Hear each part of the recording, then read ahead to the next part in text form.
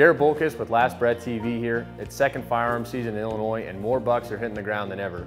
We've been working with Chad Johnson for several years now. He takes care of all our taxidermy needs and he is in the shop today to show us how to properly cape a deer mount. There's a lot of hunters out there that shoot great deer that cape them themselves and deliver a subpar cape and that doesn't allow Chad to do what he needs to do to make that mount look pristine. So we're gonna cut away to him. He's got a deer that I shot just a couple days ago He's got it taped off and he's gonna walk through the right way to cape your deer so he can put it on the wall and make it just like it looked when you took him. They brought me over here because I've talked to him over, over the last several weeks and even after the last couple years, a couple of the guys that's been bringing deer to them to bring to me or whatever, we've had issues with cape. Capes are getting cut in the wrong spot or um, they're not bringing enough cape or whatever. So for demonstration purposes, I took some blue tape here and kind of showed real quick where the cuts need to be as the deer's hanging and then we'll go through it and actually cut it and then pull it all off and then maybe even do a two-part segment where you can actually take the cape off the skull. But Mother Nature has already drawn you the lines that you need basically when you're coming um, up the leg and into the armpit. So what I always like to do, tell guys, is, is ring it, ring the legs just above the elbow. And then where the white hair meets the brown hair, take your knife and just go follow that line. Just like I said, Mother Nature made that line. Just stay out there. Don't ever get in this white hair. You get in this white hair, we're gonna get into trouble. And I'll show you on a form why it is we need this white hair here in this armpit. So stay up where the brown meets the white. And then when you get up here into this little cowlick area where um, the brown kind of goes away, just stay out of it and kind of come up here two or three more inches. And if you're worried about it, go four inches. Just don't go across here. This is where everybody gets in trouble.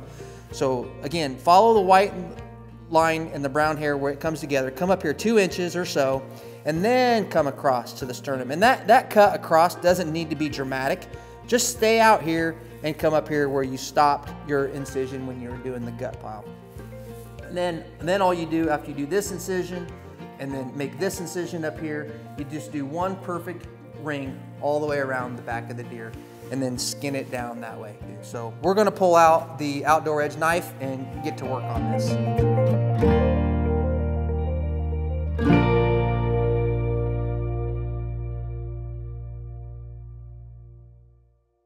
Again, where guys get in a lot of trouble is down that armpit area. There's a really nice circular cowlick area right here that the taxidermist um, anatomically, with some of the forms that we use today, um, there's just so much more shoulder and so much more armpit. To have the mount that you're looking for, right, complete animation and have everything anatomically proper, we need, a, a taxidermist needs this cowlick area. We need this, this nice sternum coming up to the top. And if it's cut too short, taxidermists can make it work, but you're gonna pull it down. You're gonna get the hair patterns out of, out of place.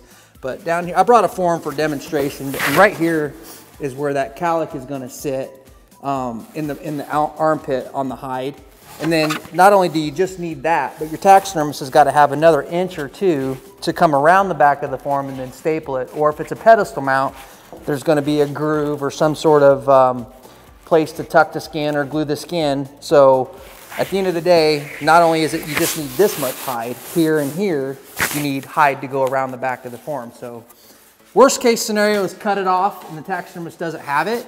Um, best case scenario is if you're not sure, just tube it and, and leave it all on there and the tax, taxidermist can take off what he needs. But uh, like I said, the forms, they're a lot deeper chested. They got more armpit, they got more leg than they used to have. So to take full advantage of that, um, just don't cut it too short.